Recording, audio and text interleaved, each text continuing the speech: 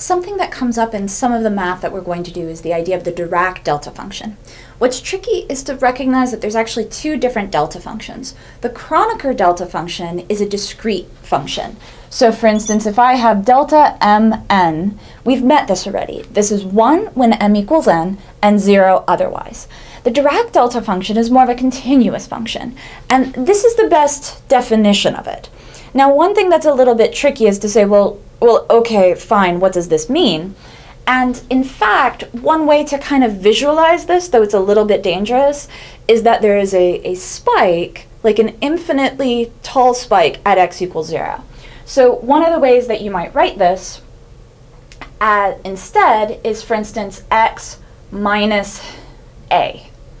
And now this actually moves the spike to position A. And so we could write this as, for instance, A minus epsilon to A plus epsilon, where epsilon is a little bit, this is still going to be equal to 1. So, so this is kind of another way to think about this, that, that the integral over your delta function is 1, but it's kind of infinitely thin. So as long as epsilon is not exactly equal to 0, this is still going to be true.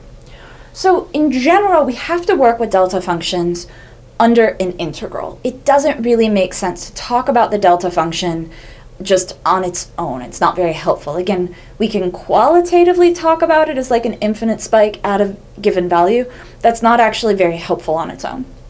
So one of the ways, um, there's a couple of identities around it. There, this might be something you've encountered in other math classes before. It is something that comes up in physics a lot, but there's, there's a few uh, things that we might use it for.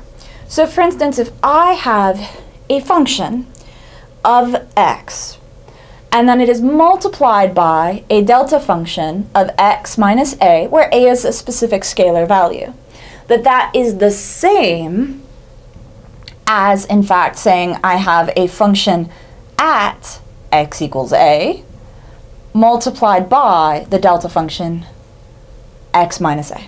So it's not valid to say, oh, f of x times delta is just that function. That's not true. You have to still keep the delta function there. So that's one of the ways where this is quite different from the Kronecker delta function, is that until you do the integral, you don't normally get to just drop it.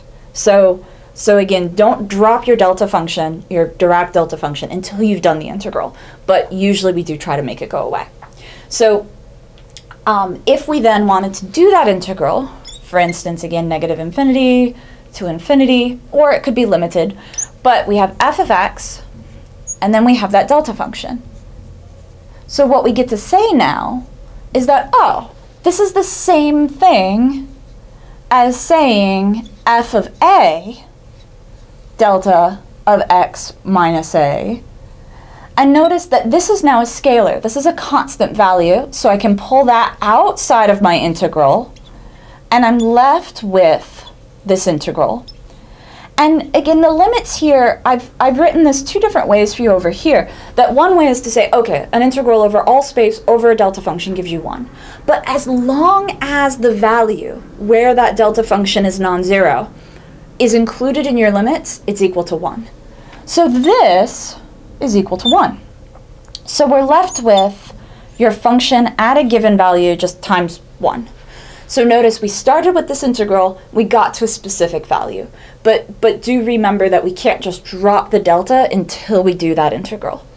Okay, and there's going to be some, some other cases where it's, it's useful. Another identity that's helpful is if we have, um, let's see, if we have different, different functions other, under the integral that are equal, um, than your, your functions themselves. Let's see. Uh, mm, yeah, I'm not sure if we'll actually need that. Sorry. So, so I hope that this is helpful. Again, it's something that pops up here and there. Um, and in particular, when we go to start thinking about our position representation and momentum eigenstates, talking about a well-defined position is in fact talking about a delta function. And so thinking about delta functions and then how that pops out here is going to be really important in that regard. Um, And again, it's a mathematical thing that, that comes up a lot. So I hope this is a helpful introduction. Again, the key is to recognize there's two different delta functions. This continuous function, so you'll see it as you know delta of x or x minus a versus delta of mn, which was the Kronecker delta function. Okay.